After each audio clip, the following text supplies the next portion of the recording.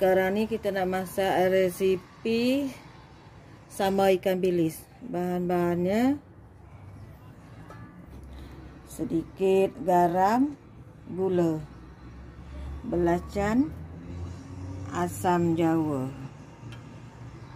Ini cili bo. Cili bo sukalah siapa nak tambah pedas boleh tambah pedas lagi. Bawang putih.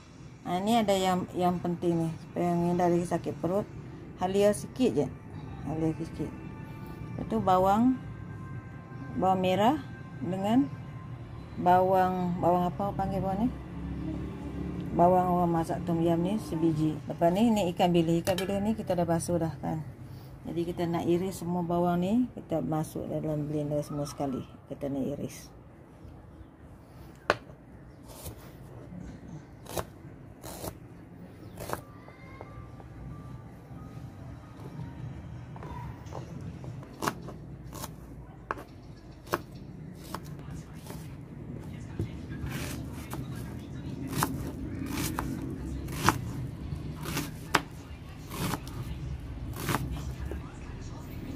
Jadi semua bahan ni kita bagi masuk dalam dalam dalam blender lah kita nak blender semua sekali.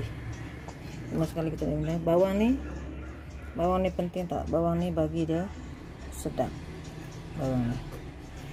Bawang tu yang bau coklat. Masuk semua bahan ni. Hmm, bahan ni. Kita dah ada cili bos mangkuk tadi kan?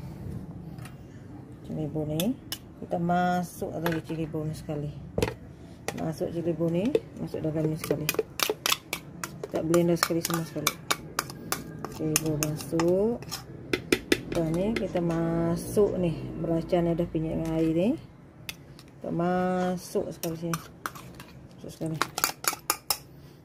Lepas tu kita ni kita pinyak-pinyak apa nama tu asam jawa tadi kita masuk kuah asam jawa ni. Air dia je lah air asam jawa masuk air asam jawa ni masuk dalam ni kita blend sekali.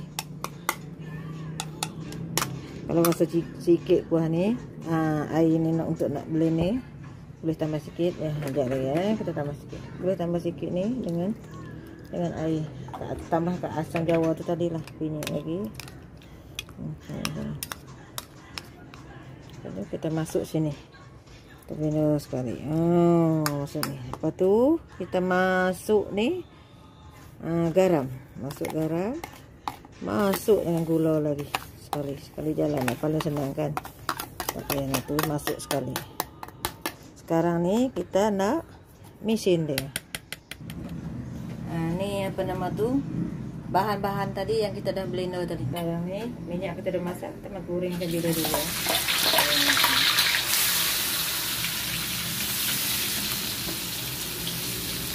Ya. Niya, bago lang mo.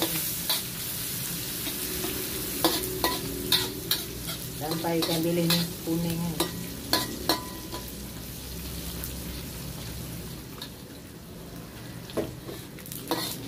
Sekarang ni, ikan bilhin kita dapat kuning kan.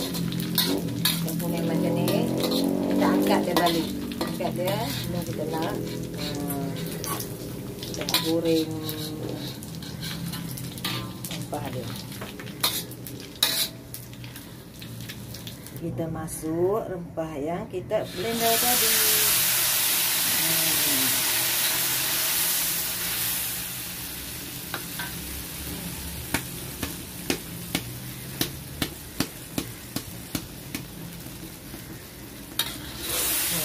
Hmm. Kacau ni sampai dia pecah minyak. Tak payah masuk apa-apa, semua dah siap masuk. Sampai pecah minyak. Kita tunggu dia sampai dia pecah minyak.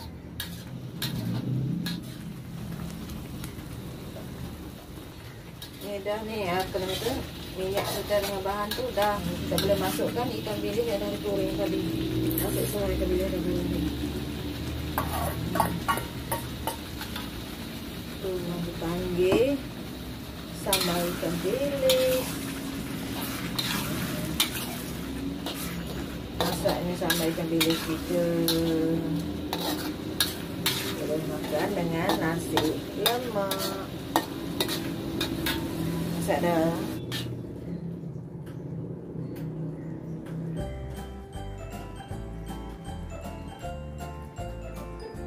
Inilah sambal ikan bilis kita. Dah masak dah sedap bau wangi ni boleh ras boleh cuba. Jangan lupa um, like subscribe komen um, jumpa lagi di resipi seterusnya. Assalamualaikum